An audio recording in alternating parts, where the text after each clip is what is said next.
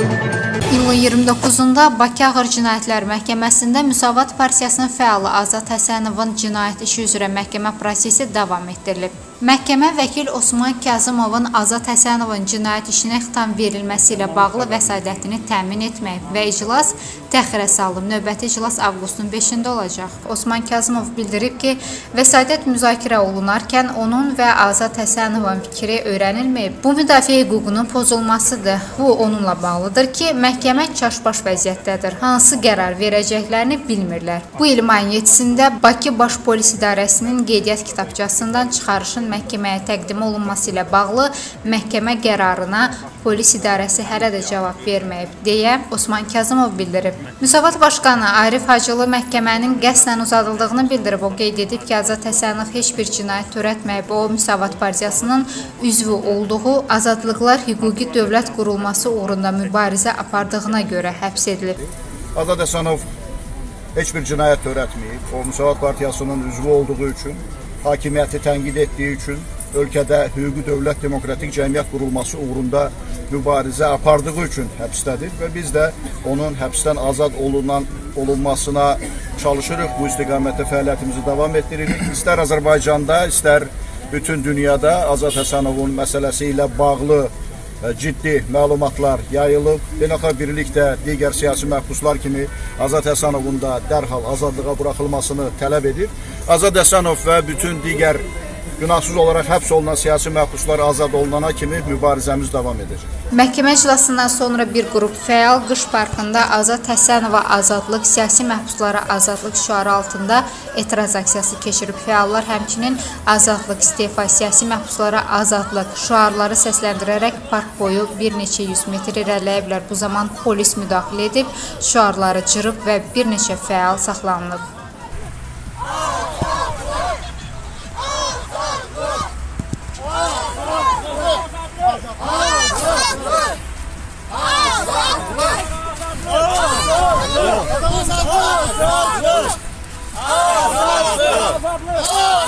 Azadlık! Azadlık! Azadlık!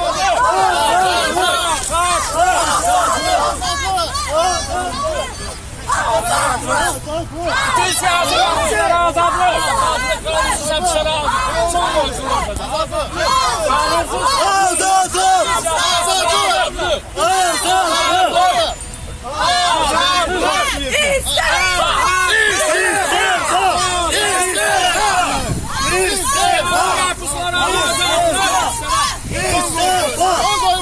şahsı tutanlar azadlı. Azadlı.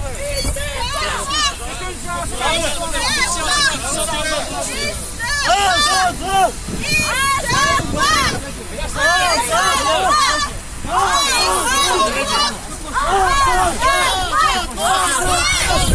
Siyasi məhbuslar azadlı. Azadlı.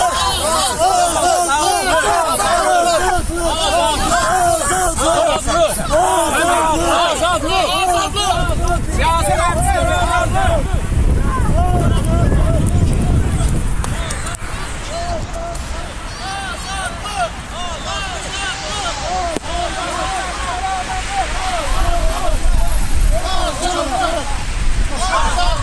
Azadlık!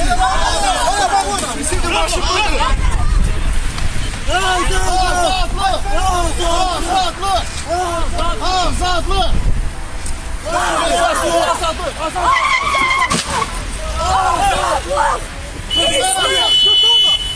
Azadlık!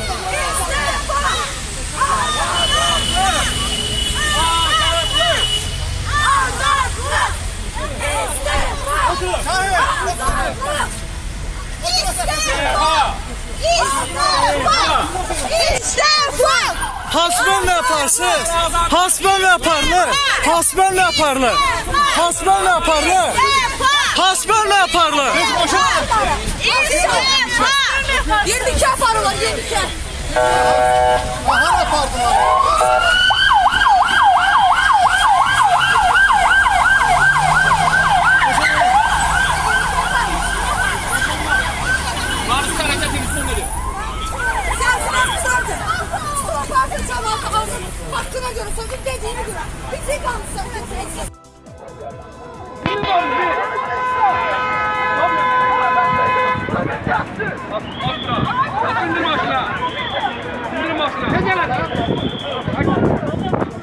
İyulun 24 axşam saatlarında təlim məşq uçuşları keçirən zaman Xəzər dənizinə düşən hərbi hava qüvvələrinin Mi-29 təyyarəsinin düşdüyü ərazi müəyyənləşib. Bunun açıqlamasında politoloq Qabil Hüseynli deyib, o bildirib ki, Mi-29 təyyarəsi və onun pilotu polkovnik leytenant Rəşad Atakişiyevin axtarışları istiqamətində işlər aparılır. Axtarışlar hər tərəflə aparılır. Fövqəladə Hallar Nazirliyi Azərbaycan Hərbi Hava Qüvvələri Dövlət Sərhəd Xidmətinin heyəti axtarışlar aparır.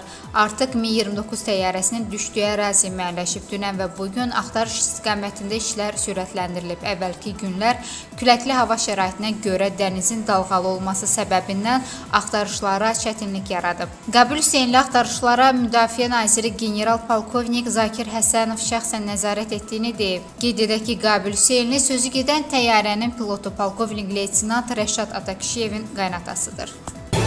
Sürücülərin sürət həddini keçməsinin və bir sıra qayda pozuntularının qarşısını almaq məqsədi ilə Yol Patrul Xidmət avtomobilləri maketi Azərbaycanın bütün avtomobil yollarında tətbiq olunacaq. Bunu Baş Dövlət Yol Polisi İdarəsinin şöbə rəisi Kəmran Əliyev deyib. Onun sözlərinə görə maketlərin düzülməsi yol hərəkətinin təhlükəsizliyinin təmin olunması üçündür. Şöbə rəisi maketlərin sayı və onların quraşdırıldığı yerlərdən xəbərdar olanlara müraciət edib. Stat Biz maketlərin quraşdırılacağı yerlərin dəqiq ünvanını açıqlaya bilmərik. Çünki maketlərin sayı və qoyulduqları yerlərin adının açıqlanması onun əhəmiyyətini itirir. Ona görə də maketlərin sayını bilən və onların qurlaşdırıldıqları yerlərinin adlarını bilən media nümayəndələri bunu ictimailəşdirməməlidir. Bu kiməsə yaxşılıq etmək demək deyil. Maketlərin yeri və sayını ictimailəşdirmək əslində sürücülərə o maketlərin quraşdırıldığı ərazidə qayda pozmağa şərait yaradacaq. Statın sonu. Kəmran Əliyev vurğulayıb ki, sürücülərin ərazidə bir-birinə marqat etməklə yekpayaq avtomobillərinin olması ilə bağlı yanlış yaxud doğru məlumat ötürməsi yol hərəkətinin təhlükəsizliyinin təmin olunmasına xidmət edir. Zirə qəsəbəsində qatar taksini vurub. İlkin məlumata görə hadisə nəticəsində 4 nəfər xəsarət alıb. Səhiyyə Nazirliyinin mətbuat xidmətindən verilən məlumata görə təcili yardıma çağırış 12:44-də gəlib. Hadisə yerinə 5 briqada cəlb olunub. Qəza nəticəsində ağır yaralı olan 22 yaşlı qız qapalı kəllə beyin travması, yuxarı ətrafların sınığı diaqnozu ilə xəstəxanaya daxil olub. 20 yaşlı oğlan qapalı kəllə beyin travması alıb. Hər iki xəstə 3 sayılı şəhər xəstəxanasına aparılıb. Daha bir yaralı 38 yaşlı kişiyə sol qolun sıyrılmış yarası diaqnozu ilə yerində yardım edilib. 33 yaşlı kişiyə sol çiynin və sol baldır travması ilə yerində yardım edildikdən sonra hospitalizasiyadan imtina edilib. Azərbaycan-Ermənistan dövlət sərhədində təmas xəttində yerləşən Dövlət Sərhəd Xidmətinin sərhəd döyüş mövqelərinə qarşı düşmən tərəfinin təxribatları davam etməkdədir. Məlumata görə 2019-cu il 28 iyul tarixində gecə saat 10 radələrində döyüş mövqelərimiz və arxa istiqamətdə hərəkətdə olan hərbi nəqliyyat vasitələrimiz düşmən tərəfindən növbəti dəfə atəşə tutulub. Düşmən snayperləri tərəfindən açılmış güllələr üzərində hərbi tibbi yardım sözləri yazılmış və Qızıl Aypara nişanının təsviri olan UAZ markalı avtomobilə dəyib. Düşmən snayperlərinin atəş nöqtələri cavab atəşi ilə susdurulub. Bakı Ağır Cinayətlər Məhkəməsində mənimsəmədə təqsirləndirilən Azərbaycan Beynəlxalq Bankının idarə heyətinin sabiq sədri Cahangir Hacıyev, onun bacanağı İsmail Hidayətzadə, sabiq deputat Dünyamin Xəlilov və digərlərinin Cinayət işi üzrə məhkəmə prosesi davam edir. Hakim Faiq Qəniyevin sədrliyi ilə keçirilən prosesdə prokuror çıxış edib. Dövlət ittihamçısı Cahangir Hacıyevin əvvəlki cəzası ilə birlikdə qəti olaraq 17 il, sabiq deputat Dünyamin Xəlilovun isə əvvəlki cəzası ilə toplamaqla qəti olaraq 15 il, 9 ay müddətinə azadlıqdan məhrum edilməsini istəyib.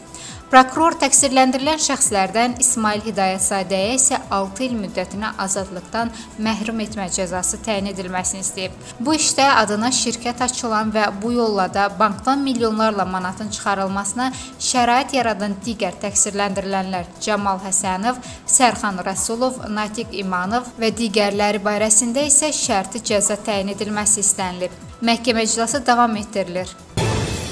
Azərbaycan Respublikasının prezidenti İlham Əliyev iyulun 29-da Fransanın İqtisadiyyat və Maliyyə naziri Bruno Le Maire'in başçılıq etdiyi nümayəndə heyətini qəbul edib. Fransaya ötən ilki uğurlu səfərini məmnunluqla xatırlayan İlham Əliyev Fransa prezidenti Emmanuel Macron ilə keçirilən səmərəli müzakirələri Azərbaycanla Fransa arasında tərəfdaşlıq əlaqələrinin inkişafına xitam edən amil kimi dəyərləndirib. Prezident İlham Əliyev iqtisadi əməkdaşlığımızın uğurla inkişaf etdiyini bildirərək bu baxımdan biznes əlaqələrinin və biznes nümayəndələrinin qarşılıqlı səfərlərinin önəmini qeyd edib. Prezident fransız şirkətlərinin Azərbaycandakı səmərəli fəaliyyətini qeyd edərək onların sayının artmasından məmnunluğunu ifadə edib.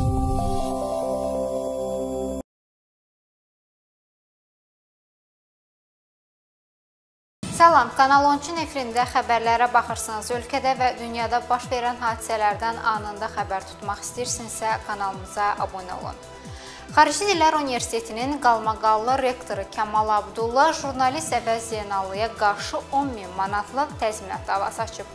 Rektor jurnalisti keçmiş dekan Müsailə Ağabəylinin və digər işçilərin məktublarını, müsahibələrini və s. məqalələri rəhbərlik etdiyi saytda yerləşdirməklə onun ləyaqətini ləkələdiyini, işgüzar nüfuzuna zərbə vurduğunu iddia edir. Azərbaycan Dillər Universitetinin rektoru Kamal Abdullah Xural.com saytının rəhbəri Əvəz Zeynalını məhkəməyə verib.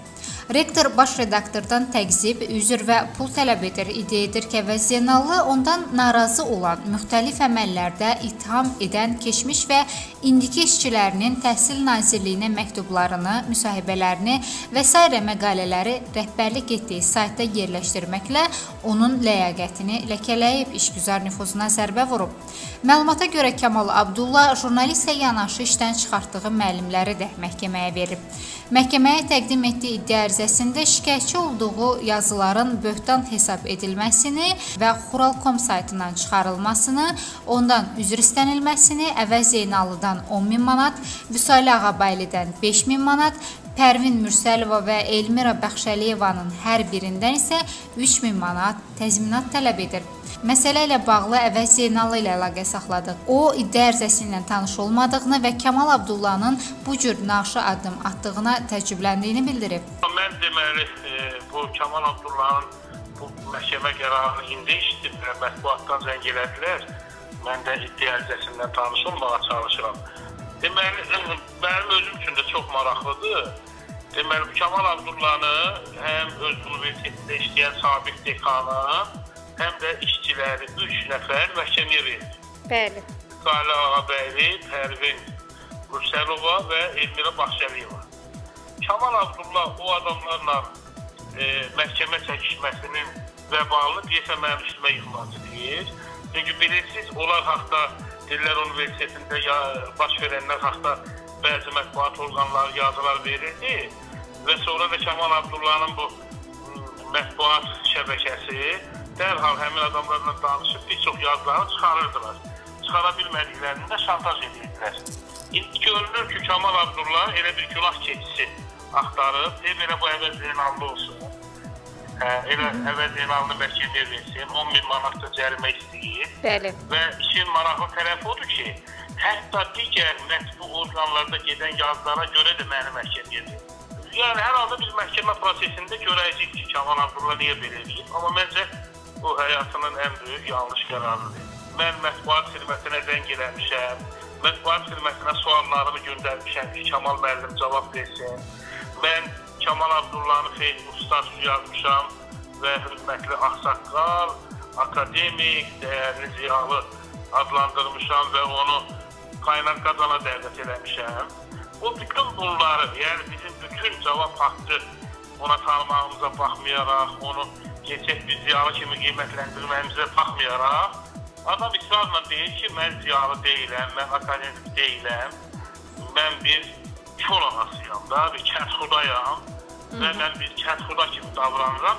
Biz Azərbaycan mediası, müstəqil mediası olaraq Kamal Abdullaya göstərəcəyik ki, Azərbaycan mediasından kəndxuda təfəkküründən davranmaq olmaz. Çox böyük ehtimalla biz onun qarşılıqlı məhkəmə iddiasından qarşılıqlı məhkəmə iddiasından çıxış edəcəyik və biz Kamal Abdullahın Azərbaycan Dillər Universitetini necə totalitar bir təhsil yuvasına çevrildiyini, işçilərin başına nə oynaşdığını, əməkdaşların maaşlarını necə kəsdiyini, o e, universitetdə necə terror əsdirdiyini sübut eləməyə məcbur qalacaq. Çünki Kamal Abdullah bunu özü istədi.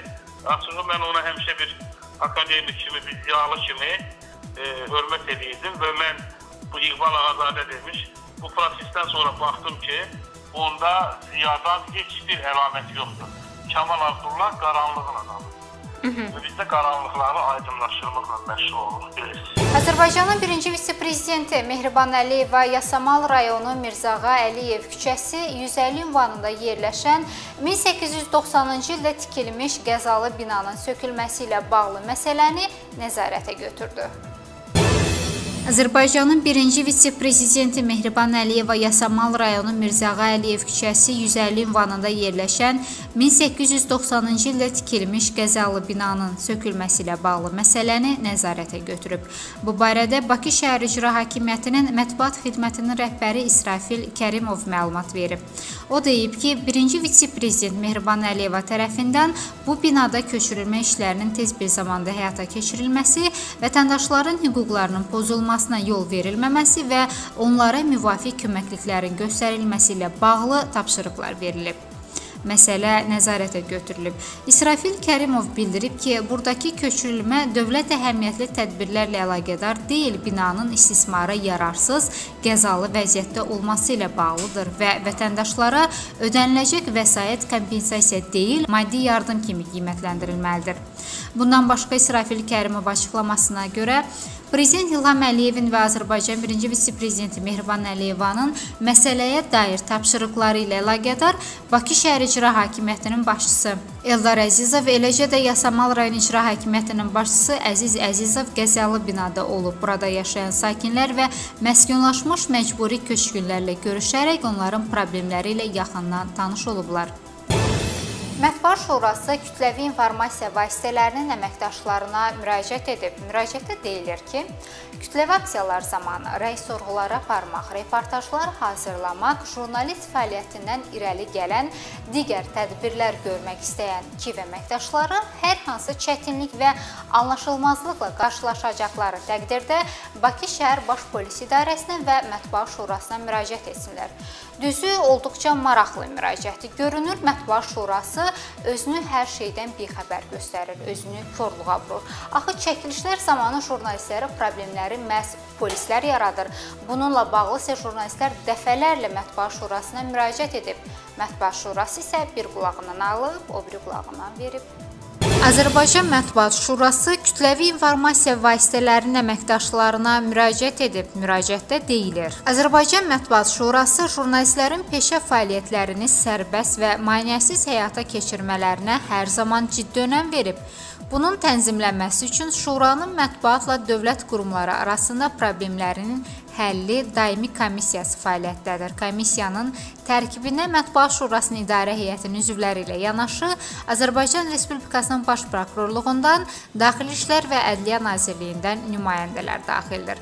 Azərbaycan Mətbuat Şurası Daxili İşlər Nazirliyi ilə birgə monitorinq qrupu da var ki, onun missiyası bilavasitə kütləvi aksiyalar zamanı jurnalistlərin peşə fəaliyyətlərini sərbəst yerinə yetirmələrinə dəstək göstərməsinə yönəlib. Mətbuat Şurası kütləvi informasiya vasitələri təmsilçilərinin peşə vəzifələrinin sərbəst və maneəsiz icrasının daha səmərəli yollarını müəyyənləşdirmək, mövcud istiqamətdəki prosesləri tənzimləmək məqsədi ilə Daxili İşlər Nazirliyi ilə birgə koordinasiya edilmiş iş rejimində fəaliyyətdədir. Xüsusən də paytaxt Bakı şəhərində müxtəlif rəy sorğuları aparmaq, reportajlar hazırlamaq, jurnalist fəaliyyətindən irəli gələn digər Tədbirlər görmək istəyən KİV əməkdaşları hər hansı çətinlik və anlaşılmazlıqla qarşılaşdıqları təqdirdə hər iki qurumun nümayəndələrindən ibarət monitorinq qrupuna məlumat verə bilərlər. Günün Səsi Orq xəbər saytının baş redaktoru Pərviz Həşimlinin Gəncə işinə görə ölkədən çıxışına qadağa qoyulub. Günün səsi Orq xəbər saytının baş redaktoru Pərviz Həşimlini ölkədən xaricə buraxmayıblar. Bu barədə baş redaktor özünün sosial şəbəkə hesabında yazıb. O yazıb ki, Bir il əvvəl Gəncə işi ilə bağlı Bakı şəhər prokurorluğu tərəfindən ölkədən çıxışına qoyulan məhdudiyyət hələ də qüvvədə qalır.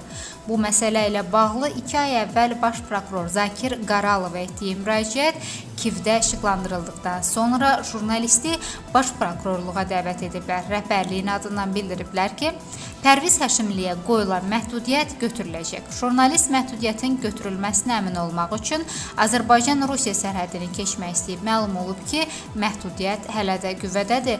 Xaçmazdakı Xanoba sərhəd buraxılış məntəqəsindən onu geri qaytarıblar. Pərviz Həşimli qeyd edib ki, bu məhdudiyyət məhkəmə qərarı olmadan tətbiq edilir. Neftçala rayonunda polis AXÇP fəalı mərhum Elnur Fərəcovun anım gününü keçirməyi qadağan edib. Polislər deyiblər ki, yalnız ailə üzvləri mərhumun məzarını ziyarət edə bilərlər. Polisdə qadağanı tədbirin siyasi xarakter ala bilməsi ilə əlaqələndiriblər.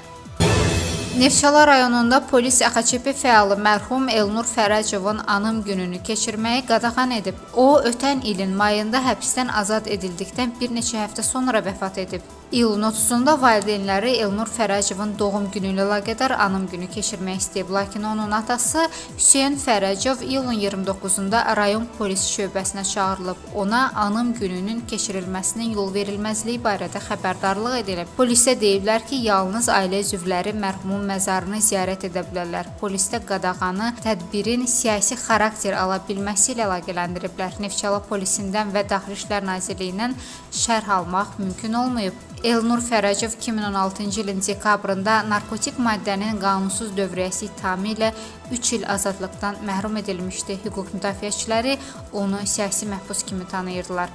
Həbsdə ikən onda onkoloji xəstəlik əmələ gəlib. Ağır xəstə olan Elnur Fərəcov 2018-ci ilin mayında əfv edilib. Avqust ayının 9-da isə vəfat edib. Pakistanın Ravalpindi şəhərində hərbi təyyarə qəzaya uğrayıb. Laynerin yaşayış evlərinin üzərinə düşməsi nəticəsində xeyli sayda insan həyatını itirib. Ölənlərin əksəriyyəti hadisə zamanı mənzillərdə olan mülki vətəndaşlardır. Qəza zamanı çoxlu sayda tikili sıradan çıxıb. Ərazidə güclü yanğın baş verib. Dağıntılar altında insanların qaldığı istisna edilmir. İyulun 30-da səhər Pakistanın Ravalpindi şəhəri yaxınlığında kiçik hərbi təyyarə qəzaya düşüb. 17 nəfər həlak olub, onlardan 5 əskərdir. Pakistan ordusu qəzada 12 dinc sakinin həlak olduğunu, bir o qədər də adamın xəsarət aldığını bildirir. Xəstəxanalarda fövqəladə vəziyyət elan olunub, xilas etmə işləri aparılır.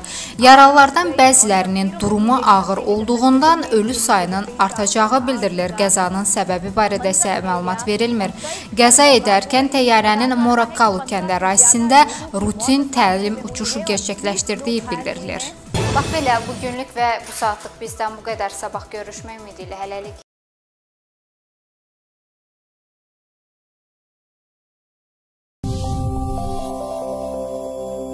İyulun 30-31-də Binəqədi rayon məhkəməsində XÇP sədri Əli Kərimlinin şikayətinə baxılıb. O, iyunun 28-də Müsavat Partiyasının qərargahında keçirilən xeyriyyə marafonu vaxtı tutulub polis idarəsinə aparılması, təxminən 2 saat orada saxlanması ilə əlaqədar məhkəməyə müraciət edib. Əli Kərimlinin şikayəti təmin olunmayıb. XÇP sədrinin vəkili Fəxrəddin Mehdiyev bildirib ki, qərardan apellyasiya şikayəti veriləcək. Heç bir qanun pozuntusu törədilmədiyini, lakin 2 saatdan saatdan artıq Binəqədi rayon polis idarəsinə saxlandığını deyən Əli Kərimli iddia edir ki, bununla da onun bir sıra hüquq və azadlıqları pozulub. Müsavat Partiyasının üzvü bir sayılı Bakı İstintaq Təcridxanasında saxlanılan Azad Həsənov acılıq aksiyasını dayandırıb. Bu barədə Penitensiar Xidmətin İctimaiyyətlə Əlaqələr Şöbəsinin rəisi Mehman Sadıqov bildirib. Onun sözlərinə görə Azad Həsənov vəkilinin yanında saxlandığı müəssisənin rəhbərliyinin adına ərizə yazaraq acılığı dayandırdığını bildirib. Müdafiə Nazirliyinin baş qərargah rəisinin müavini general Ayaz Həsənov jurnalist Səxavət Məmmədi cərmələtdirib. İyulun 31-də Ağdam rayon məhkəməsi generalın jurnalistə qarşı iddiası əsasında qərar çıxarıb. Jurnalistin blog yazısında onun işgüzar nüfuzuna zərbə vurulduğunu iddia edən Ayaz Həsənov buna görə Səxavət Məmməddən 100 min manat təzminat tələb edirdi. Bu vəsaitin tutulub silahlı qüvvələrə yardım fonduna köçürülməsini istəyirdi. Məhkəmə diyaçı generalı haqlı saysa da təyin etdiyi təzminatın məbləği onun tələb etdiyindən xeyli az olub, cəmi 200 manat. Amma jurnalist bu qərarla da razı deyil. Səxavət Məmməd mətbuata açıqlamasında bildirib ki, blog yazısında generalın işgüzar nüfuzuna zərbə hesab olunacaq heç nə yoxdur. Səxavət Məmmədin mayın 25-də yayımlanan blog yazısında Müdafiə Nazirliyinin baş qərargah rəisi Nəcməddin Sadıqovun daha yüksək vəzifəyə gedəcəyindən bu vəzifəyə isə müavini Ayaz Həsənovun hazırlanmasından bəhs olunurdu. Bundan iki gün sonra mayın 27-sində Səxavət Məmməd həbs olundu. Ağdam rayon məhkəməsinin qərarında onun aliment öhdəliyini yerinə yetirmədiyinə görə 10 günlük inzibati həbs edildiyi göstərilir. Ağstafa İcra Hakimiyyətinin girişində rayonun adı Ağtafa kimi yazılıb. Bu barədə sosial şəbəkədə foto yayılıb. Həmin şəkildə isə rayonun adında S hərfinin yazılmadığı, rayonun adının Ağtafa yazıldığı öz əksini tapıb. Məlumatda bildirilir ki, rayonun adının bu cür yazılması icra başçısının tapşırığı əsasında həyata keçirilib.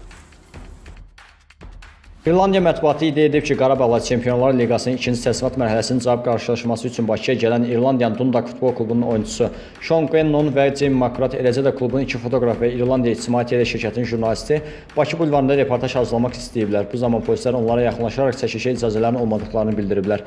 İrlandiya mətbuatı iddia edir ki, bu zaman 8-9 polis əməkdaşı İrlandlılara yaxınlaşaraq onlardan çəkişi dayandırmalarını xahiş ediblər. Bakı şəhər baş polis idarəsinin mətbuat xidmətinin rəisi polis mayoru Elşad Aliyev deyib ki, İrlandiya mətbuatının dərc olunan məqalədə məlumat məlumatlayıb. Müvafiq qorunan yerlər və obyektlər istisna olmaqla paytaxtın küçə, park, xiyaban və meydanlarında foto-video çəkişlərlə bağlı məhdudiyyət yoxdur. Polis tərəfindən paytaxtda ictimai əsasın təqdim edilməsində qarşıya qoyulan vəzifələr yüksək əzm və peşəkarlıqla həyata keçirilir. Kənarı Bulvar İdarəsinin əməkdaşı isə Kanal 13 açıqlamasında qeyd etdi ki, istənilən foto və video çəkiş üçün idarənin rəisindən icazə almaq lazımdır.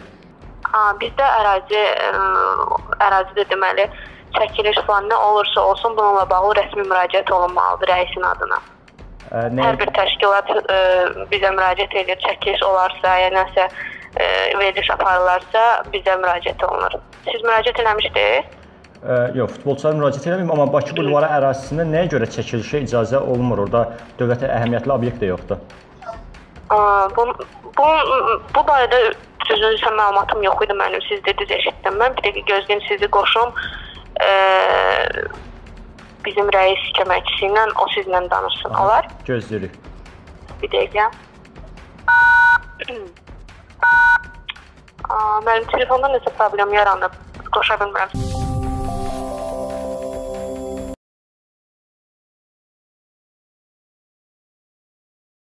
Salam, Kanal 13-ün efirində xəbərlərə baxırsınız. Ölkədə və dünyada baş verən hadisələrdən anında xəbər tutmaq istəyirsinizsə kanalımıza abunə olun. Bir neçə gündür ki, medianın gündəmində olan Dillər Universitetinin rektoru Kamal Abdulla və jurnalist Əvəz Zeynallının ilkin məhkəmə iclası baş tutub. Amma buna tam olaraq da məhkəmə iclası demək olmaz, çünki iclas başdan sona qədər tərəflərin mübahisəsi ilə davam etdi. Hətta Dillər Universitetini təmsil edən vəkil Muxtar Mustafayev Əvəz Zeynallını təhqir etdi. Sonda hakim vəkili zaldan çıxartmaq zorunda qaldı. Mən Mətbuat Şurasından heç bir zaman dəstək görməmişəm. Allah məni o günlərə salmasın ki, heç Mətbuat Şurası mənə dəstək versin. Bu gün Binəqədi rayon məhkəməsində Xural qəzetinin baş redaktoru Əvəz Zeynallıya qarşı Azərbaycan Dillər Universitetinin rektoru Kamal Abdullah tərəfindən qaldırılmış məhkəmə prosesi keçirilib. Məhkəmədə Əvəz Zeynallı ilə qarşı tərəfin arasında gərgin mübahisələr baş tutub. Bu səbəbdən də məhkəmə 9 avqust tarixinədək təxirə salınıb.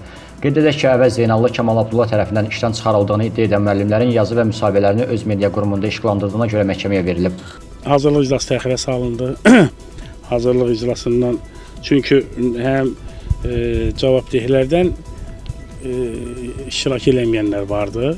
Müsahilə xanım iştirak eləmirdi. E, həm də bizim vəkil yox idi. Biz də ona görə dedik ki, vəkilin iştirak eləməsi üçün e, proses təxirə salınsın. Proses ayın 9-una səhər saat 11-ə təxirə salındı. sizə qaldırılan bu məhkəmə iddiasında hər hansı bir siyasi motiv hiss edirsinizmi? Valla bugünkü e, məhkəmə prosesindən, vəkilin davranışından və vəkilin özünü aparmağından e, bəzi çalarların olduğunu hiss elədim. Yəni e, Kamal Abdullah açıq-aşkar prosesə e, təxribat qatmaq üçün göndərmişdi vəkili. Vəkil ağza gəlməyən sözlərdən istifadə edirdi. Təbii ki, həmən də və dərhal cavabı verildi. Amma e, siz təksib verəcəksiniz və quzu-quzu təksib verəcəksiniz deyə bir bəyanat verdi. Və e, bizdə də informasiyalar var ki, indi onu gələn proseslərdə deyəcəyik. E, bu məhkəmənin sədrinin Kamal Abdullahın ailə dostu olduğu haqqında məlumatlar var. Və Kamal Abdullah da məhz e,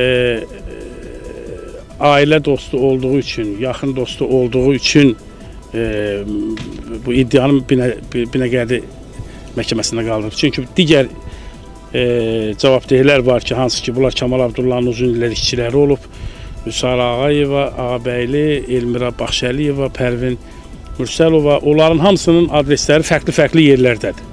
Amma buna baxmayaraq Kamal Abdullah məhz Binəqədini seçib. Binəqədini də ona görə seçib ki, həmin bax bu Arzu Kazımov deyirlər. Mən elə tanışdığım yoxdur, amma Aras. Hə, Aras, Aras Kazımov hə ona görə. Yəni mən prosesdən, bax bu prosesdən son dərəcə narahatam. Anar Bağırova müraciət eləyəcəm. Bu vəkillərin ümumiyyətlə prosesdə nə işi var? Bunlar ağzına idarə eləyə bilməyən, özünü idarə eləyə bilməyən, şəxsiyyətini idarə eləyə bilməyən bu adamların nə işi var məhkəmə proseslərində? Bu vəkil hardan bilir ki, biz təqsir verəcəyik. Hələ məhkəmə təzə başlayıb, ortada heç bir şey yoxdur.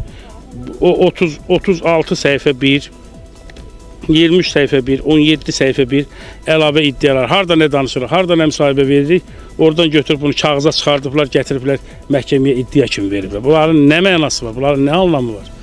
Və siz özünüz Kamal Abdullah'a qarşı məhkəmə iddiası qaldırmaq fikrindəsiniz? Qarşılıqlı məhkəmə iddiası qaldırılacaq Kamal Abdullah'a həm onun əməkdaşları deyəsən elə bir niyyətləri var.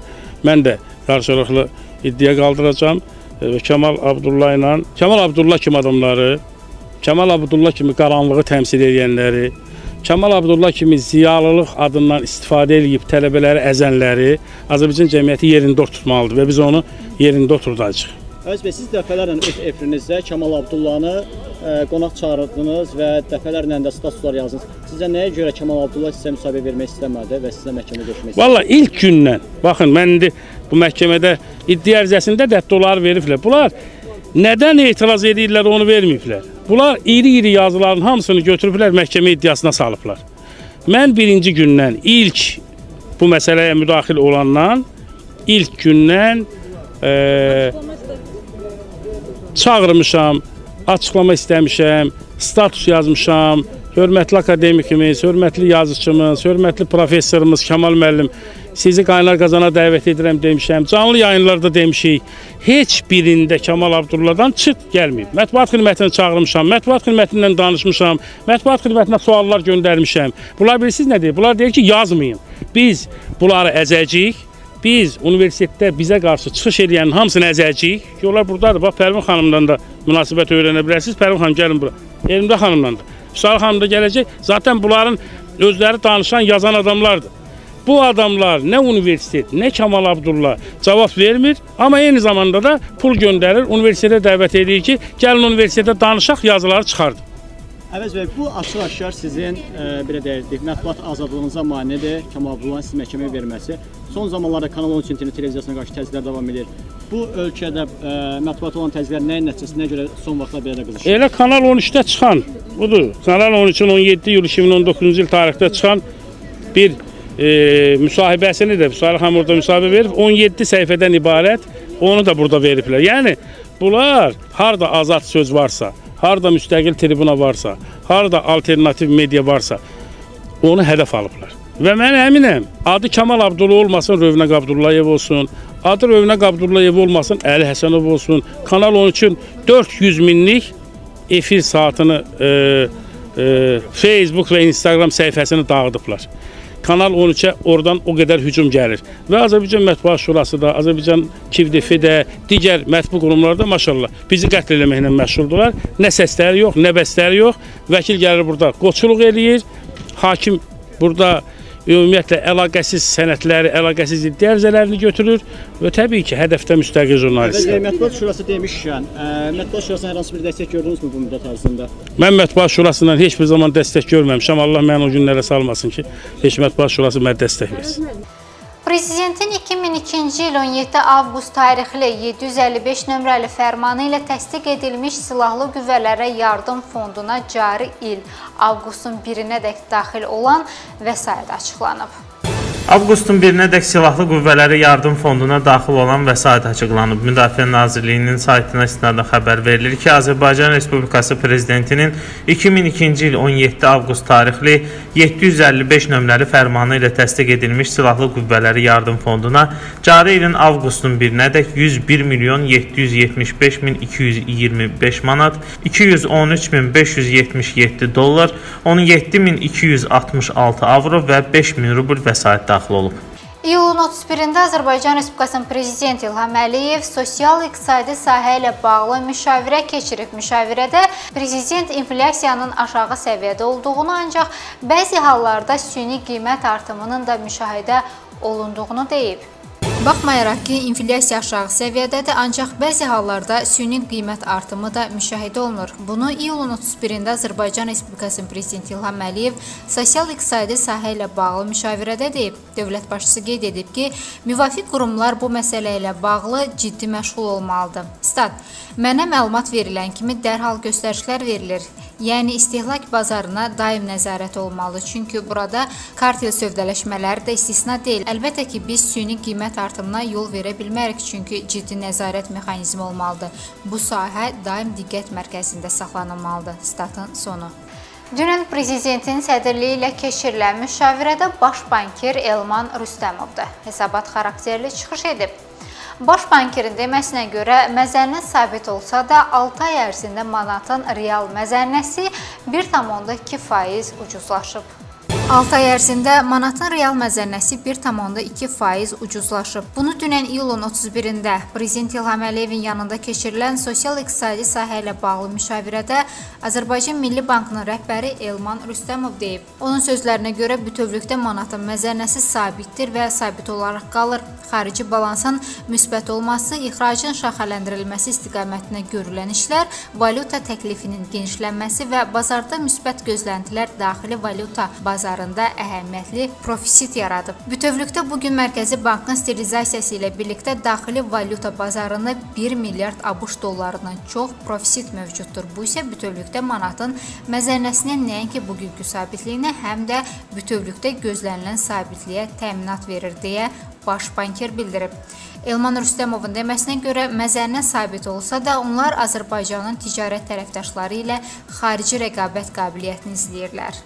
İyulun 24-də qəzaya uğramış Mi-29 təyyarəsinin axtarışına Türkiyəli mütəxəssislər də cəlb edildi.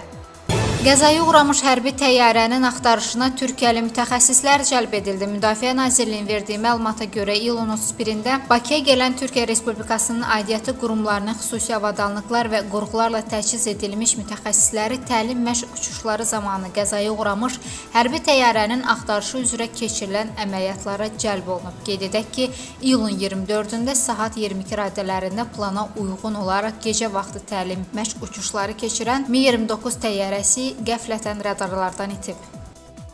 ABŞ İranın Xarici İşlər naziri Məhəmməd Cavad Zərifə qarşı sanksiya tətbiq etdi. Zərif xüsusi kateqoriya üzrə şəxslər siyahısına daxil edilib. Xatırladaq ki, bir müddət öncə Pompeo və ABŞ prezidenti Donald Trump İranla danışıqlara hazır olduqlarını demişdilər.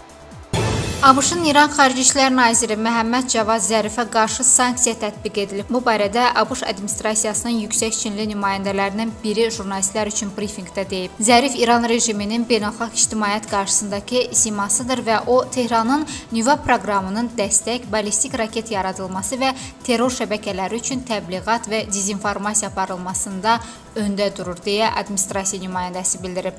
Ağ Ev rəsmisi onu da əlavə edib ki, ABŞ İranın Xarici İşlər Nazirliyi rəhbərliyini fəal dialoq aparılmasında tərəfdaş hesab etmir və danışıqların daha yüksək vəzifəli şəxslə aparılmasını istəyir. ABŞ donanmasının Kaliforniyadakı bazası yaxınlığında çox hədəfli qırıcı təyyarəsi qəzaya uğrayıb. Nəticədə ərazidə yerləşən Ölüm Dərəsi Milli Parkını ziyarətə gələn azı 7 nəfər xəsarət alıb. ABŞ-ın Kaliforniya ştatında çox hədəfli qırıcı təyyarəsinin qəzaya uğraması nəticəsində Ölüm Dərəsi Milli Parkını ziyarət edən azı 7 nəfər xəsarət alıb. Bu barədə məlumatı CNN telekanalı yayıb. Məlumata görə təyyarə ABŞ hərbi dəniz qüvvələrinin China Lake bazasının yaxınlığında Ölüm dərəsində yerləşən Ulduz müharibələri adlı kanyonunda qəzaya uğrayıb. Telekanal bildirir ki, bu kanyon aviasiya həvəskarları arasında kifayət qədər tanınmış yerdir. Onlar burada təlim uçuşları seyr edirlər. Hazırda qəzanın olduğu yerdə axtarış xilas etmə işləri aparılır. Pilotun vəziyyəti barədə hələ ki məlumat yoxdur. Bax belə bu günlük və bu saatlıq bizdən bu qədər. Sabah görüşmə ümidi ilə hələlik.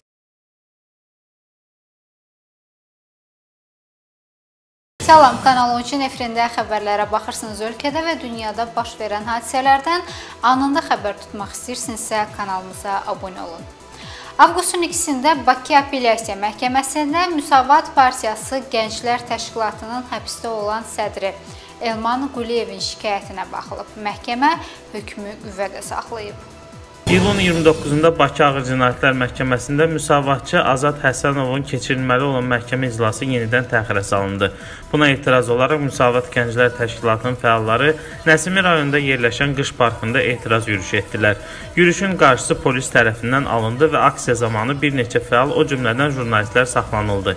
Saxlanılan şəxslərdən Müsavat Gənclər Təşkilatının sədri Elman Quliyev məhkəmənin qərarı ilə 30 sutka həbs cəzası aldı.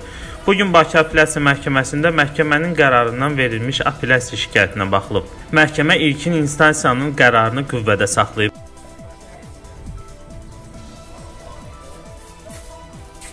Həbsinizi qanuni sayırsınızmı? Məhkəmə hər şey yaxşıdır. Teşekkürler başkan. Hamımız geldiğiniz için teşekkür ederim. Möhkəm olun, hər şey yaxşı. Dostlar, dostlar sayılır, niyə qoluna qantal taxmısınız? Tamam. Tamam. Görüşürük. Möhkəm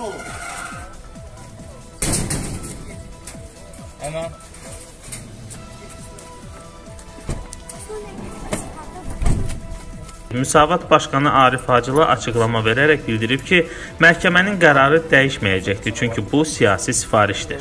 Quliyev Müsavat Partiyasının Gənclər Təşkilatının sədridir və həmin gün, yəni Azad Həsənovun məhkəməsi olan gün, onun həm də ad günü idi. Azad Həsənov aclıq aksiyası keçirildi. Ona görə orada toplaşan gənclər flaşmob keçirmək qərarına gəliblər və bu prosesə faktiki olaraq əslində Elman Quliyev rəhbərlik edib.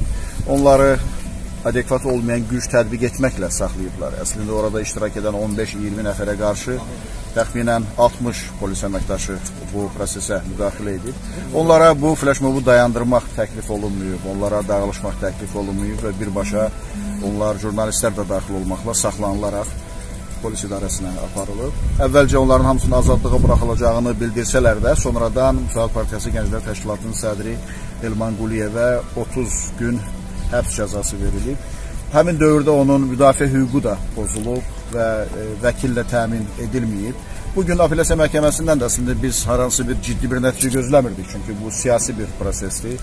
Elman Quliyev heç də törətdiyi hər hansı əmələ görə yox, məhz Müsaad Partiyasının Gənclər Təşkilatının sədri olduğu üçün bu əslində dinc və heç bir zorakılığın olmadığı, kiminsə istirahətinin pozulmadığı, nəqliyyatın hərəkətinə maneçilik törədilməyən bir e, aksiyaya görə onun saxlanılması tamamilə qeyri-qanunidir və Osman bəy də bu məsələləri orada e, kifayət qədər aydın şəkildə hakimin diqqətinə çatdırdı. Ancaq e, apellyasiya məhkəməsinin bir də qeyd edirəm ki, hansısa bir müsbət e, qərar verəcəyini gözləmirdik, çünki bu işlər siyasi işlərdir və siyasi sifarişlə həyata keçirilir ətraflı toxundu. Mən sırf məhkəmə prosesində baş verən qanunsuzluqlarla bağlı fikirlərimi nəzərinizə çatdırmaq istəyirəm. Həm e, Elman Quliyev polis idarəsində saxlanılan zaman onun müdafiə hüquqları kobud surətdə pozulub, müdafiəçi ilə təmin olunmayıb. Bu, bu artıq kifayət edirdi ki, Nəsimi rayon məhkəməsinin hakimi həmin üzrə icraata xitam verilsin. Eyni zamanda bu pozuntu Nəsimi rayon məhkəməsində davam edib. Nəsimi rayon məhkəməsində Elman Quliyevə təyinat üzrə vəkillə müdafiə olunması təklif olunub, lakin Elman Quliyev ə, həmin vəkildən imtina edib və konkret adlar çəkib. Həm mənimlə görüşmək, həm də Neymət Kərimli ilə görüşmək istədiyini bildirib.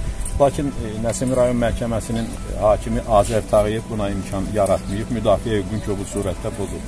Baxmayaraq ki, mən mənimlə telefon əlaqəsi saxlanıldığından sonra mən Nəsimi rayon məhkəməsinə getdim və Nəsimi rayon məhkəməsində Elman Quliyevlə görüşdüm. Artıq gec idi, dərhal e, məhkəmə istintaqını həyata keçirmişdilər, şahidləri dindirmişdilər. Mən ora çatana qədər artıq məhkəməni yekunlaşdırmışdılar. Hansı halbuki İnzibati Xətalar Məcəlləsinin tələbinə görə elə olan halda müdafiə hüququ ilə təmin etmək üçün məhkəmə işdə fasilə verə bilər. Neft fondu gəlir və xərclərini açıqladı. Hesabata əsasən ilin ilk yarısında Azərbaycan Dövlət Neft Fondunun büdcə gəlirləri 10 milyard 698,3 milyon manat, xərcləri isə 4 milyard 499,4 milyon manat təşkil edir. 2019-cu ilin ilk yarısında Azərbaycan Dövlət Neft Fondunun büdcə gəlirləri 10 milyard 698,3 milyon manat, xərcləri isə 4 milyard 499,4 milyon manat təşkil edib. Bu barədə fondun avqustun 2-sində yaydığı məlumatda yazılıb. Məlumata görə fondun gəlirlərinin 8 milyard 557,1 milyon manatı neft və qaz sazişlərinin həyata keçirilməsindən əldə edilib. Qalan hissəsi bonus ödənişləri, tranzit və başqa gəlirlər təşkil edir. Xərclərin əsas hissəsi dövlət büdcəsinə transfer olunub. 2019-cu ilin iyunun sonuna aktivlər ilin əvvəlinə nisbətən 10,25% artaraq 42 milyard 463,7 milyon ABŞ dollarına çatıb. Xatırladaq ki, Neft fondu 2001-ci ildə fəaliyyətə başlayıb. O vaxtdan fonda 145 milyard dollar civarında vəsait daxil olduğu deyilir. Bu vəsaitlərin böyük hissəsinin büdcəyə transfer olunduğunu, yerli və beynəlxalq layihələrin icrasına sərf edildiyi bildirilir. Azərbaycan Gürcüstanda həbsdə olan Lansent klinikasının həm təsisçisi cərrah hazırda Gürcüstanda həbsdə olan Fərman Ceyranlını axtarışa verib. Azərbaycan Lansent klinikasının həm təsisçisi cərrah hazırda Gürcüstanda həbsdə olan Fərman Ceyranlını axtarışa verib. Onun axtarışa verilməsi barədə elan Daxili İşlər Nazirliyinin insan alverinə qarşı mübarizə baş idarəsinin saytında yerləşdirilib. Barəsində Azərbaycan Cinayət Məcəlləsinin insan alveri maddəsi ilə 2019-cu ildə axtarış elan edilib. Həbs qəti imkan tədbiri seçilib. Interpol kanalları ilə beynəlxalq axtarışdadır deyə elanda yazılıb. Fərman Ceyranlı Gürcüstan Cinayət Məcəlləsi ilə dələduzluqda insanların həyat həyatı və sağlamlığına təhlükə yaradan informasiyanı gizlətməkdə itham olunurdu. Cinayət işi klinikada 2017-ci ildə qaraciyər köçürülməsindən sonra vəfat etmiş bir xəstənin qohumunun şikayəti əsasında qaldırılıb. Tbilisi şəhər məhkəməsi ötən il fevralın 8-də ona 6 il həbs cəzası verməsə də hökm çıxarıb. Hökmdə vurğulanır ki, məhkəmə zamanı cərraha qarşı irəli sürülmüş dələduzluq ithamı təsdiqini tapıb. Fərman Ceyranlı ithamı qəbul etməyib və bildirib ki, Azərbaycanda verilən sifarişlə həbs edilib. O, bunu Azərbaycan müxalifəti ilə yaxın olması ilə izah edib. 2018-ci ilin dekabr ayında isə Gürcüstan Apellyasiya Məhkəməsinin qərarı ilə Fərman Ceyranlının barəsində 6 il azadlıqdan məhrum etmə cəzası cəzası 2 il 3 aya dək azaldılıb. Onun 2 il 3 aylıq cəzası bu ilin avqustunda başa çatır. Fərman Ceyranlının məhkəmədəki qeyd edilən açıqlamasına həmin vaxt nə Azərbaycan, nə də Gürcüstan hüquq mühafizə orqanlarına münasibət öyrəmək olmayıb. Avqustun 1-də vəkil Neymət Kərimli 16 saylı cəza çəkmə müəssisəsində həbsdə olan jurnalist Əfqan Muxtarlı ilə görüşüb. Vəkil Muxtarlının səhhətinin və saxlanma şəraitinin yaxşı olduğunu deyib. Avqustun 1-də vəkil Neymət Kərimli 16 saylı cəza çəkmə müəssisəsində həbsdə olan jurnalist Əfqan Muxtarlı ilə görüşüb. Vəkilin verdiyi məlumata görə Əfqan Muxtarlının səhhəti normaldır və saxlanma şəraitindən şikayəti yoxdur. Əfqan Muxtarlı Avropa Şurasının İnsan Hüquqları üzrə komissarı Dünya Miyatoviç ilə təcridxanadakı görüşündən razı qalıb. Onlar Azərbaycanda söz azadlığının durumu barədə ətraflı söhbət ediblər. Əfqana öz yaxınları ilə görüşməsinə imkan verilmirdi. Ötən həftə belə bir görüş də olub deyə vəkil bildirib. Araşdırmaçı jurnalist Əfqan Muxtarlı 2017-ci ilin may ayında Gürcüstan paytaxtı Tiflisdə itkin düşdükdən sonra Azərbaycanda həbs edilib. Bakıda yararlı çimərliklərin siyahısı açıqlandı. Tullantı sularının düzgün idarə edilməməsi çimərlikləri çirkləndirir. Bakı və Abşeron yarımadasında Bilgə, Nardaran, Pirşağı, Zaqulba və Mərdəkan çimərlikləri istisna olmaqla digərlərində çimərlik mikrobioloji baxımdan çirklidir. Bunu Ekologiya və Təbii Sərvətlər Nazirliyinin Xəzər Kompleks Ekoloji Monitorinq İdarəsinin əməkdaşı Nərmin Babaşova deyib. İdarənin əməkdaşları iyulun 25-dən avqustun 1-nədək çimərlik ərazisində dəniz suyunun növbəti monitorinqini keçiriblər. Ərazidə mikrobioloji təhlillər aparıblar. Onun sözlərinə görə Sumqayıt, Novxanı, Buzovna, Şüvalan, Türkan, Hövsan, Şıxov, Sahil, Xaçmazın Yalama, Seydlər, Nabran, Lənkəran və Astara ərazilərindəki çimərliklər mikrobioloji baxımından çirklidir. Buzovna və Şüvalan çimərliklərinin isə bu dəfə çirkli çıxmasına səbəb bu ərazilərdə fəaliyyət göstərən istirahət mərkəzlərinin tam işə başlaması, orada formalaşan tullantı sularının düzgün idarə edilməməsi və dənizə axıdılmasıdır. ABŞ rəsmən orta və yaxın mənzilli raketlərin ləğvi ilə bağlı müqavilədən çıxır. Qeyd edək ki, orta və yaxın mənzilli raketlərin ləğv edilməsi üzrə müqavilə 1987-ci ildə ABŞ və SSR arasında imzalanmışdı. ABŞ-ın orta və yaxın mənzilli raketlərin ləğvi ilə bağlı müqavilədən çıxması prosesi bu gün başa çatır. Qeyd edək ki, orta və yaxın mənzilli raketlərin ləğv edilməsi üzrə müqavilə 1987-ci ildə ABŞ və SSR arasında imzalanıb. 2014-cü ildə ABŞ Rusiyanı müqaviləni pozmaqda ittiham edib. 2018-ci ilin oktyabrında ABŞ prezidenti Donald Trump Vaşinqtonun bu razılaşmadan geri çəkildiyini bildirib. Ötən ay Rusiya orta və yaxın mənzilli raketlərin ləğvi müqaviləsindən çıxıb. Rusiya prezidenti Vladimir Putin bununla bağlı federal qanun imzalayıb.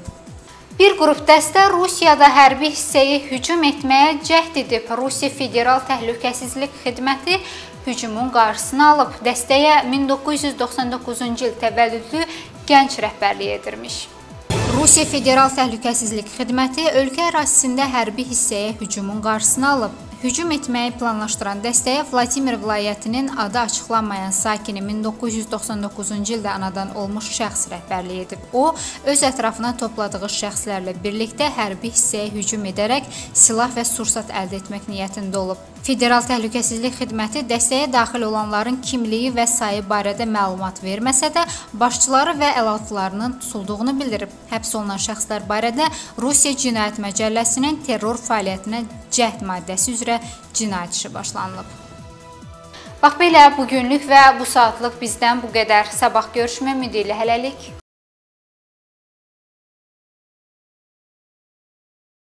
Salam, Kanal 13-ün efirində xəbərlərə baxırsınız. Ölkədə və dünyada baş verən hadisələrdən anında xəbər tutmaq istəyirsinizsə, kanalımıza abunə olun.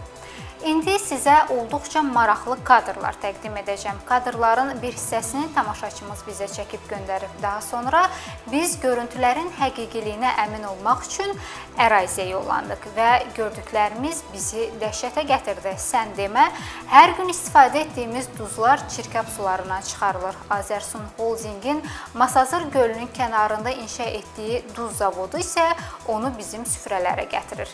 İdeallara görə çirkab sularının birbaşa duz gölünə axıdılmasına səbəb suyun səviyyəsinin aşağı düşməsinin qarşısını almaqdır. Diqqətlə kadrları izləyək. Novxanıda Duz gölünün kənarında salınan yeni yaşayış massivində kanalizasiya sisteminin olmaması bütün ölkə vətəndaşlarının sağlamlığını təhlükə altında qoyur desək, yanılmarıq. Belə ki, Masazırla Novxanını ayıran Duz gölünün kanalizasiya sularının son dayanacağına çevrilməsi haqqında görüntülər həyəcan təbili çalmağa əsas verir. Araşdırmamızın nəticəsində məlum olub ki, Masazır qəsəbəsində gölün qırağında tikilən yaşayış komplekslərinin və ətrafdakı fərdi evlərin kanalizasiya suları hazırda birbaşa həmin ərazidə duz çıxarılan gölə axıdılır. Bu isə dövlət səviyyəsində mühafizə olunan Masazır Duz gölünün çirkaba məruz qalması deməkdir. Bununla da Azərsun Holding şirkətinin bu gölün ətrafında duz çıxarmaq üçün tikdirdiyi Masazır Duz zavodunun məhsullarının keyfiyyəti sual altına düşür. Bu bir yerdən yox, iki yerdən axır. Bax bu da bu yaşayış kompleksinin kanalizasiyasıdır. Bax bu da yerin altı ilə gedir. yerin altı ilə gedir.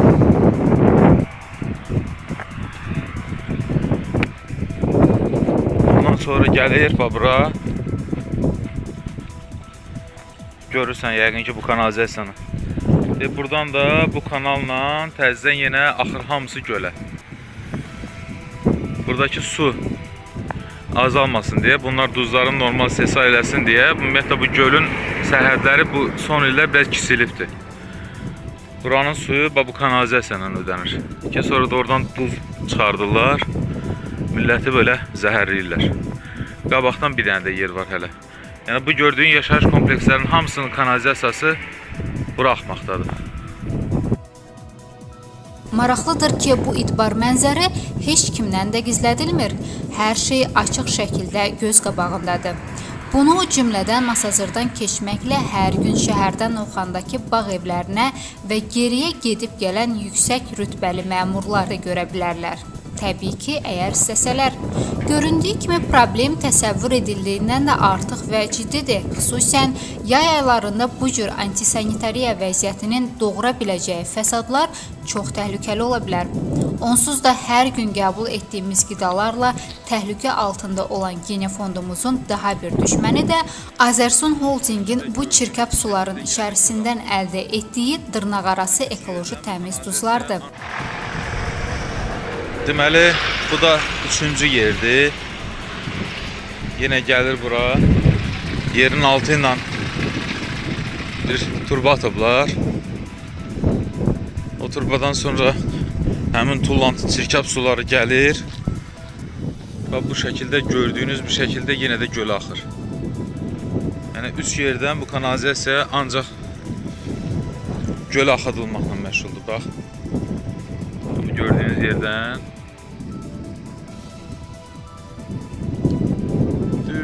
axır yenə də gölə.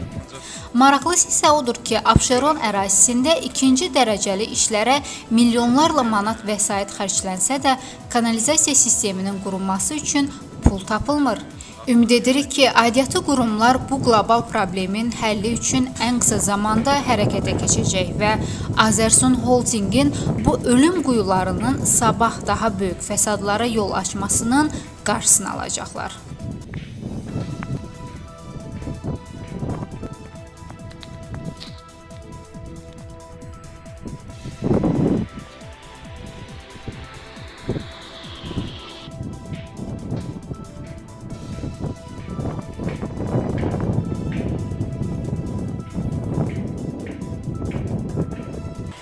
Ehtiyatlı olmaqda fayda var. Bu arada xatırladım ki, Azərsun Holdingin mövqeyini işıqlandırmağa hazırıq. Maraqlıdır bu mənzərəyə necə açıqlıq gətirəcəklər. Gürcüstanda da olduqca maraqlı olaylar baş verir. Belə ki, bir neçə gün öncə Azərbaycanın axtarışa verdiyi cərrah Fərman Ceyranlının həbs müddəti uzadıldı. Gürcüstan Ali Məhkəməsi tanınmış cərrah Fərman Ceyranlının azadlıqdan məhrum etmə cəzasının azaldılması ilə bağlı apellyasiya məhkəməsinin qərarını ləğv edib. Beləliklə, avqust azadlığa çıxmalı olan cərrah daha 3 il həbsxanada qalacaq. Avqustun 2-sində Gürcüstan Ali Məhkəməsi tanınmış cərrah Fərman Ceyranlının azadlıqdan məhrum etmə cəzasının azaldılması ilə bağlı apellyasiya məhkəməsinin qərarını ləğv edib. Bu barədə Azərbaycan Demokratik Qüvvələri Milli Şurasının sədri Cəmil Həsənli Facebook səhifəsində yazıb. Onun sözlərinə görə Ali Məhkəmə bu rüsvayçı qərarı öz təşəbbüsü ilə Yeni Gürcüstan prokurorluğunun müraciəti olmadan qəbul edib. Qeyd edək ki, 2018-ci ilin fevralında Fərman Ceyranlı 6 il azadlıqdan məhrum edilib. Ancaq həmin ilin dekabrında Gürcüstan Apellyasiya Məhkəməsi bu müddəti 2 il 3 ayadək azaldıb azaldıb və 2019-cu ilin avqustunda o azadlığa çıxmalı idi. Gürcüstan Ali Məhkəməsinin qərarı nə ilə əlaqədardır və hansı əsaslarla apellyasiya məhkəməsinin qərarını ləğv etməsi məlum deyil. Qeyd edək ki, Fərman Ceyranlı vaxtından əvvəl şərti olaraq azadlığa buraxılması üçün müraciət edib. Bunun əvəzinə yeni həbs müddəti alıb. Gəncə işinin məhkəmə prosesində yumşalmalar müşahidə olunur. Belə ki, ötən gün apellyasiya məhkəməsində prokuror mühakimə olunan 7 nəfərdən ibarət qrupun cəza müddətinin azaldılmasını istədi. Ötən gün apellyasiya məhkəməsində prokuror Gəncə işi üzrə mühakimə olunan 7 nəfərdən ibarət digər qrupun cəza müddətinin azaldılmasını istəyib. Bu barədə hüquq müdafiəçisi Oqtay Gülalıyev bildirib. Dövlət ittihamçısı cəza müddətinin 2-4 ilədək, Elvin Əliyevin isə cəza müddətinin 1 ilədək azaldılmasını təklif edib. Bu deməkdir ki, artıq növbəti iclasda o azadlığa buraxıla bilər. Qeyd edək ki, 7 nəfər o cümlədən Yavar İsmailzadə 1-ci instansiya məhkəmə tərəfindən 9 il azadlıqdan məhrum edilib. Zabil Məmmədov, İsa Məhərrəmzadə 8 il, Alim Yusifov, Qəmbər Qafarzadə 7 il, Elvin Əliyev və Aydın Rüstəmov 6 il həbs cəzası alıblar. Oqtay Gülalıyev qeyd edib ki, avqustun 1-də dövlət ittihamçısı Gəncə işi üzrə adı keçən digər qrupun da cəza müddətinin azaldılmasını təklif edib. Ermənistanın baş naziri Nikol Paşinyan avqustun 5-də işğal altında olan Dağlıq Qarabağın mərkəzi şəhəri Xankəndində Dirçəliş meydanında çıxış edəcək. Paşinyan deyib ki, onun çıxışının əsas mövzusu erməni birliyi olacaq. Ermənistanın baş naziri Nikol Paşinyan avqustun 5-də işğal altında olan Dağlıq Qarabağın mərkəzi şəhəri Xankəndində Dirçəliş meydanında çıxış edəcək. Azadlıq radiosunun erməni xidməti Azatutuyunun xəbərinə görə bu barədə məlumatı avqustun 2-də Sevan gölündə olan Paşinyan Facebookda canlı yayımında verib. Stat: Mən avqustun 5-də Stepanakertdə ümumi erməni oyunlarının açılış mərasimində iştirak edəcəm. Statın sonu. Paşinyan deyib ki, bu mərasimə bütün erməniliyin nümayəndələri toplaşacaq. Qarabağ separatçılarının lideri xain qüvvələr barədə heç nə bilmədiyini deyir. Ermənistanın baş naziri Facebook müraciətində Arsaqdan olan bütün həmyerlilərini onun çıxışını dinləməyə dəvət edib. O bildirib ki, bu çıxışında bugünkü vəziyyətimiz və sabahki planlarımızdan söz açacaq. Paşinyan deyib ki, onun çıxışının əsas mövzusu erməni birliyi olacaq. Nəhayət ki, uzun mübahisədən sonra Salam sinemanın yerləşdiyi bina memarlıq abidələri siyahısına salındı. Baş nazir Novruz Məmmədov bununla bağlı qərar imzalayıb. Azərbaycan Respublikası ərazisində dövlət mühafizəsinə götürülmüş daşınmaz tarix mədəniyyət abidələrinin əhəmiyyət dərəcəsinə görə bölgüsünün təsdiq edilməsi haqqında Nazirlər Kabinetinin qərarında dəyişikliklər edilib. Qərarı baş nazir Novruz Məmmədov imzalayıb. Qərarla yerli əhəmiyyətli daşınmaz tarix və mədəniyyət abidələrinin siyahısının memarlıq abidələri bölməsinə aşağıdakı ünvanlarda yerləşən binalarda daxil edilib. İbadət evi Süleyman Rüstəmov küçəsi 10, Məscid Rəsul Rza küçəsi 34 ilə Həzaslanov küçəsinin 85-ci kəsişməsi. Mədəniyyət Nazirliyinə aidiyyəti qurumlarla birlikdə bu qərardan irəli gələn məsələləri həll etməkdə tapşırılıb. Qeyd edək ki, Bakı şəhəri Süleyman Rüstəm küçəsi 10 ünvanında yerləşən və Malakanların evi kimi tanınan tarixi bina özəl mülkiyyətdir. Hazırda binada Salam Sinema Baku kinoteatrı fəaliyyət göstərir. Mayın əvvəlində mülkün sahibi müqavilənin vaxtı bitdiyi üçün kinoteatrı binadan çıxarıb oranı təmir etmək istəyirdi, lakin kinoteatrın əməkdaşları binadan çıxmaqdan imtina ediblər. Onlar mülkiyyətçinin binanı sökəcəyini iddia edirdilər. Türkiyənin sabiq prezidenti Abdullah Gül 2023-cü ildə keçiriləcək prezident seçkilərində iştirak edəcək. Türkiyənin sabiq prezidenti Abdullah Gül 2023-cü ildə keçiriləcək prezident seçkilərində iştirak edəcək. Türkiyə kütləvi informasiya vasitələrinin iddiasına görə Abdullah Gül qurulacaq yeni partiyada üzv olacaq. Həmin partiyada ötən həftələrdə Hakim Ədalət və İnkişaf Partiyasından istefa verən ölkənin tanınmış siyasətçisi Əli Babacan da yer alacaq. Abdullah Gül 2014-cü ildə prezidentlik dövrü bitəndən sonra AKP-ni tərk etmişdi. Bildirilir ki, Abdullah Gül hələ 2018-ci ildə keçirilən seçkilərdə müxalifətin namizədi olmaq istəyib, lakin İYİ partiyasının rəhbəri Meral Akşener namizədliyini geri götürmədiyi üçün buna nail ola bilməyib. Həmin dövrdə prezident sözçüsü İbrahim Kalın və Baş qərargah rəisi Hulusi Akarın Abdullah Gülün yaşadığı ərazinin həyətinə helikopter ilə enməsi böyük səs-küyə səbəb olmuşdu. Bax belə, bu günlük, bu həftəlik bizdən bu qədər. Növbəti həftədə görüşmək ümidi ilə. Hələlik.